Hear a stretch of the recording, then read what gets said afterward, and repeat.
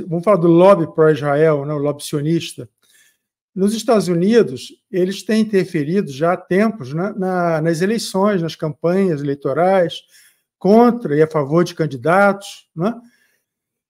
É, lembrando que nos Estados Unidos o Biden, é, nesses 30 anos que ele tem de carreira, se não me engano, algo assim, ele já recebeu uns 4 milhões de, do lobby israelense, a Hillary Clinton fica um pouco atrás, mas também já recebeu muito, né?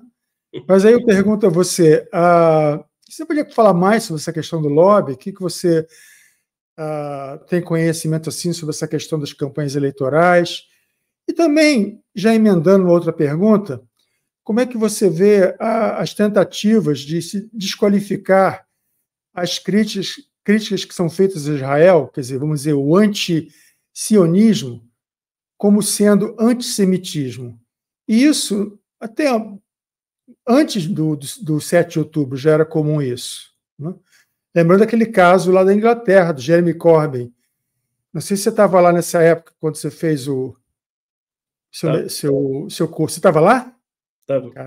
Então você... Vai, a palavra é contigo. É, bom, primeiro do lobby. Acho que, em primeiro lugar, é, é, é, quando a gente fala do lobby sonista, é, a gente está falando de um fenômeno material real que existe organizado a partir do Estado de Israel e também de uma forma descentralizada né, por organizações sionistas e judaicas israelenses e evangélicas também e de outras naturezas é, que atuam em diferentes locais do mundo, principalmente nos Estados Unidos, na Inglaterra, que são os principais casos, mas aqui no Brasil, em qualquer lugar do mundo. É, lobby não é algo particular de Israel, né? Todo país faz lobby. É, isso é um exercício comum das relações internacionais. Né? Para você, um Estado busca né, representar os seus interesses em outro Estado a partir das diversas formas. A principal forma, normalmente, é através da chancelaria, da diplomacia. Mas existem outras formas. E é disso que a gente está tratando quando a gente fala do lobby. E falar do lobby é distinto de falar da conspiração judaica de dominação mundial. Né? Porque a conspiração judaica de dominação mundial que a gente vê desde o do, daquele livro antissemita lá, o Protocolo do Sábio do Sião, que é algo muito central para o antissemitismo moderno ali do nazifascismo, muitas vezes se mistura com lobby. Né? E vão ter pessoas críticas a Israel que vão se instrumentalizar da narrativa do, do, da existência do lobby, da sua atuação do lobby, para justificar narrativas antissemitas em relação a Israel. Né? Então, é só importante dizer que o lobby né, não é uma forma de entender como Israel domina o mundo, porque Israel não domina o mundo. Mas o lobby é uma forma de entender como Israel exerce influências em outros países, os quais, onde é interessante e é importante que ele exerça essa influência. Então, acho que isso é importante a gente deixar clara essa distinção. Né? É, e quanto ao lobby, é, eu, o, a, a, quem sistematizou esse, esse, esse, esse, análise do lobby israelense foi um livro né, de dois intelectuais das relações internacionais muito importantes, que chamam de Omer Scheimer e Stephen Walt, né, que publicaram com muita dificuldade, né, é, em 2007, em 2009, acho que em 2007 saiu o artigo, 2009 saiu o livro, se não me engano, chamado The, U, é, é, The Israel Lobby and the US, algo do tipo, né? É, enfim, não consigo ver daqui. É, e o, o, o, livro ele busca entender como a política externa dos Estados Unidos age em favor do, de Israel, mesmo quando seria contra o interesse nacional americano. Né? Só uma, uma, uma, dúvida, só um segundo. Você falou com dificuldade porque houve pressão contrária à publicação? Isso, houve bastante pressão contrária à publicação.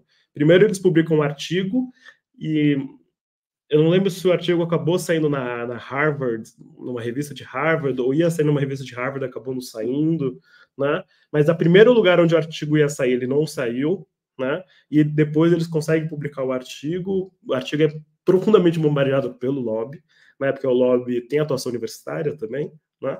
É, mais midiática principalmente, e mas como eles são intelectuais com uma envergadura política e, e muito grande, né?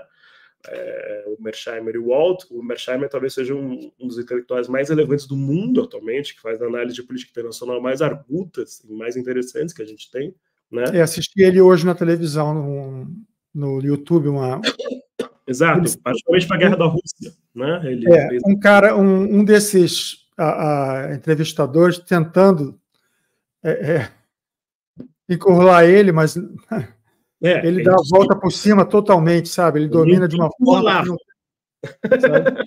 Deixa o cara, deu um, deu um olé no cara, sabe? No é. entrevistador.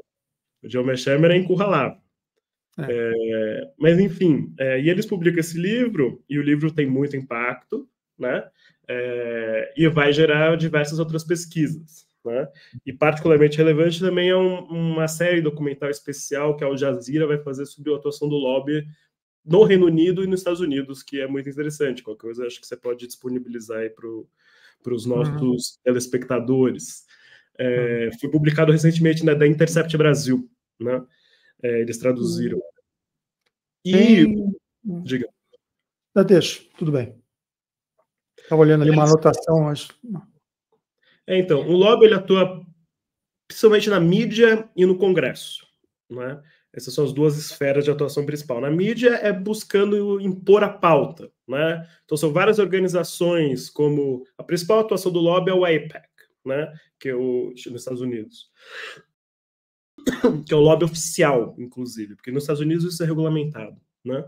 É, e gente do mundo, os americanos doam muito dinheiro para o pro, APEC e o APEC atua de uma forma sistemática, impondo a pauta, impondo entrevistador, entrevistados, impondo, é, vendendo notícias, esse tipo de coisa, né? É, e várias organizações fazem coisas semelhantes, como J Street e outros. A, maior chama Christians, é, Christians United for Israel, que é uma hum. evangélica, né? É, e tem a eleitoral, que é financiando campanha, né? Nos Estados Unidos a gente não tem financiamento público de campanha. Desculpa, quer, quer tomar uma água aí? Parar um pouquinho, tomar uma água? Eu estou tomando, é que eu estou um pouco doente, então não tem. Ah, e aproveito para te falar uma coisa enquanto você respira um pouquinho, né? uns meses atrás, eu vi que tinha uma visitinha ilustre no meu. É, no Instagram, como é que chama aquele outro? Que, que, que é mais profissional? Twitter. Não, não, que é profissional aqui, pessoal de carreira, LinkedIn, né? Hum, LinkedIn. É, tava lá o IPAC visitou meu LinkedIn. Eu fiquei meio surpreso isso, sabe? Estão te observando, né? Estão de olho. É. Então, eles atuam, principalmente financiando campanhas, né? Para pessoas que têm posições favoráveis a Israel, defensoras do ah. Estado de Israel. Então, por exemplo, é, você vai ser candidato pelo seu distrito a deputado. É, e no seu distrito ter um, um, candidato de esquerda que tem posições críticas a Israel e defensor da causa palestina. Você nunca se interessou pela causa palestina Israel na sua vida. Mas você passa a ter posições favoráveis a Israel por receber financiamento. E a gente sabe muito bem que para ser eleito tem que ter financiamento. São raríssimas as campanhas que, com baixo financiamento, você consegue ser eleito. Isso vai para o Brasil, isso vai para os Estados Unidos, isso é a regra da democracia liberal no capitalismo. Né? É, então, é, o lobby ele, ele, ele é muito bem articulado através disso. Como consequência, ele consegue é, criar uma diferença substancial entre opinião pública e representação parlamentar e executiva também. Né? Porque isso também vale para candidaturas do executivo. Né? É, então, é, hoje em dia, por exemplo, nos Estados Unidos, a gente tem uma posição popular muito favorável ao cessar-fogo, a gente tem uma parcela de, muito grande do, do, dos eleitores do Partido Democrata muito favoráveis à questão palestina, mais favoráveis aos palestinos do que aos israelenses hoje em dia. Né? A gente tem uma parcela importante do eleitorado judaico, por volta de 20%, 30%, que não, vem, não tem, são antisionistas. Né? É, os Estados Unidos é interessante que a gente tenha essas pesquisas. Né? É, só que você não tem essa, esse tipo de representação no parlamento. Né? Então, como consequência, a política institucional ela fica estrangulada pelo lobby, né? e, e, e, e um descompasso muito grande com a política popular. Né? E essa é a força do lobby. E por isso que o Mersheimer e o Walt vão dizer que mesmo quando vai contra os interesses americanos, definir o que é interesse americano é algo muito difuso, né? Mas a gente pode, por exemplo, medir em torno de pressão popular, por exemplo, como pelo cessar-fogo que acontece agora. Né? Existe uma. Todas as pesquisas dizem que a maior parte do eleitorado americano, da população americana, defende o cessar-fogo imediato. 68% né? a, a pesquisa recente aí. Então, é, isso, isso, vem desde as primeiras semanas né, do, do conflito.